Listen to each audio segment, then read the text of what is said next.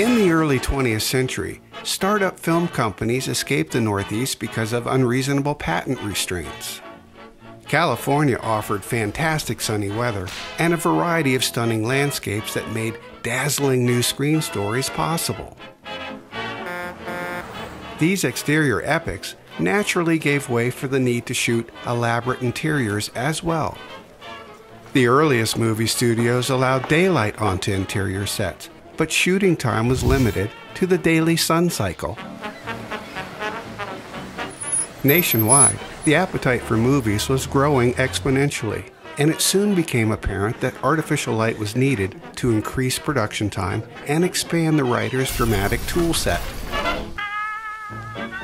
And as a cinematographer, I have another theory for the speedy development of artificial light sources.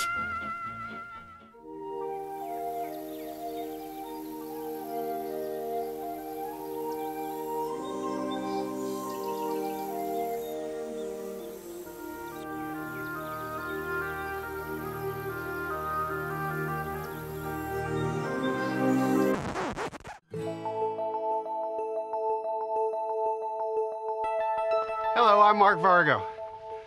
Artificial light has been a part of filmmaking for almost 100 years. The early lighting instruments had to be very powerful due to the slow speed of film stocks at that time.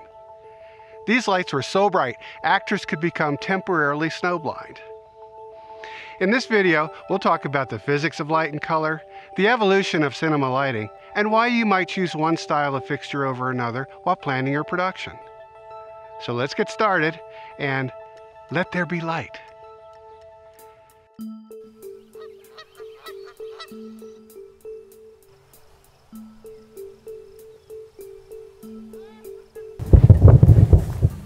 Visible light occupies a tiny slice on the electromagnetic spectrum. Each color is defined by a wavelength and quantified as nanometers. The human eye can see between 400 nanometers, which is violet, all the way to 680 nanometers, which is red. Violet and blue are shorter wavelengths but contain the most energy. The longest visible wavelengths are represented as oranges and reds, and they produce the least amount of energy. Knowing these basic facts relates to color temperature, which is quantified in degrees on the Kelvin scale.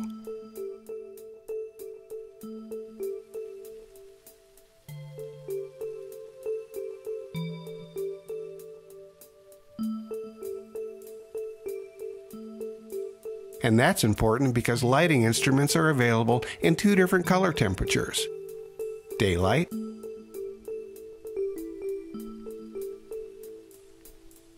or tungsten.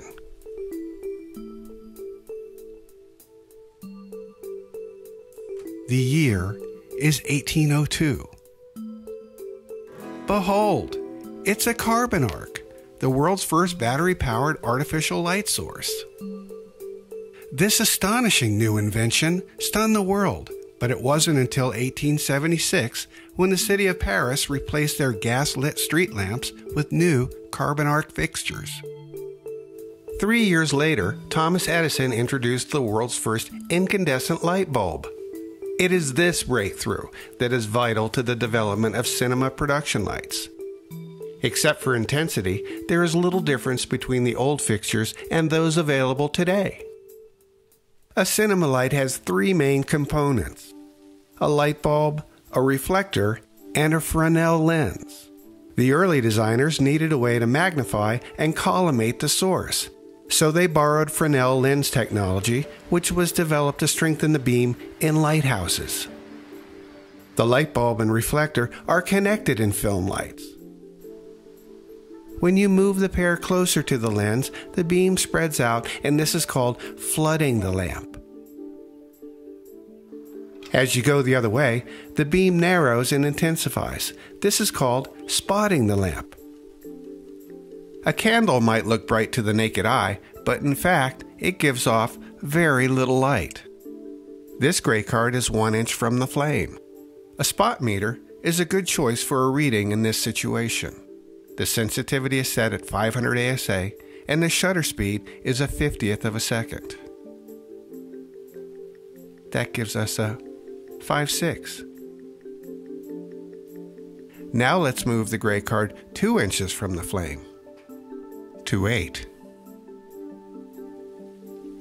By doubling the distance from the source, we lost two f stops, and that's four times less light hitting the gray card.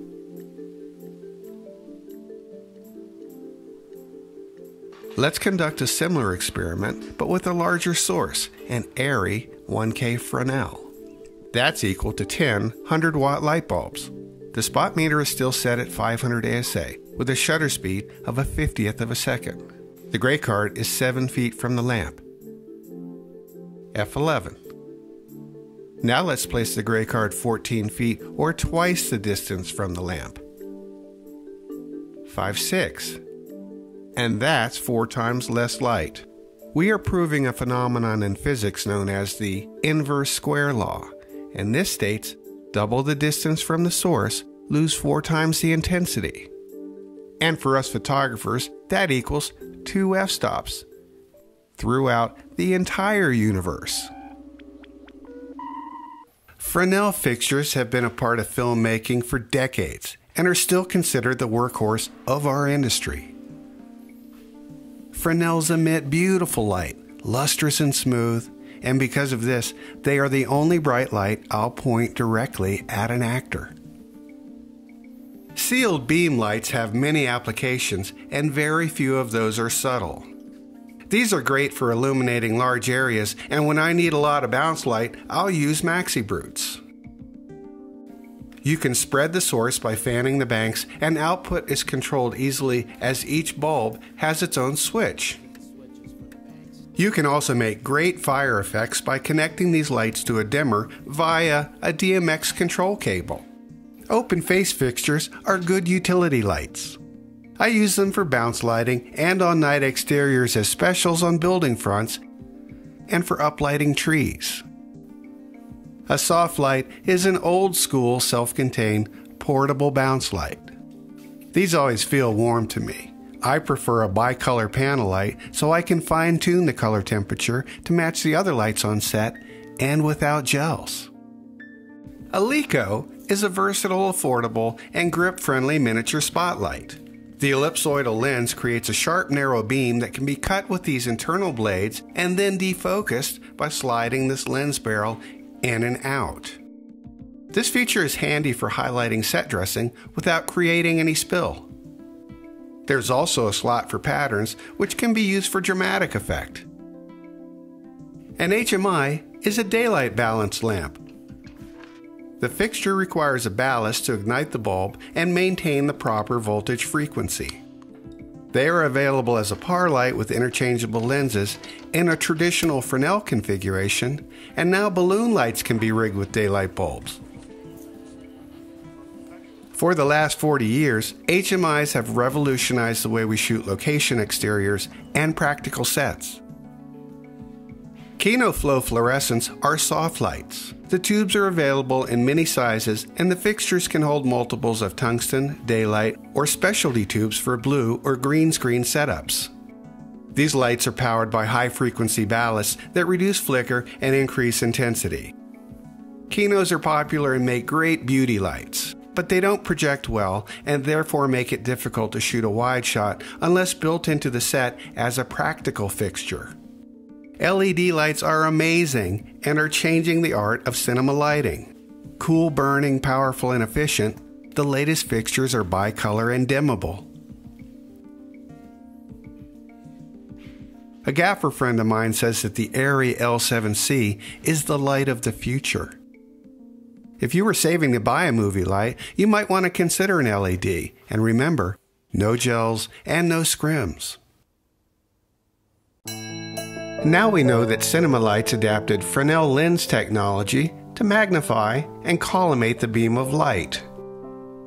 For decades, movie lamps looked basically like this and were available in a variety of sizes.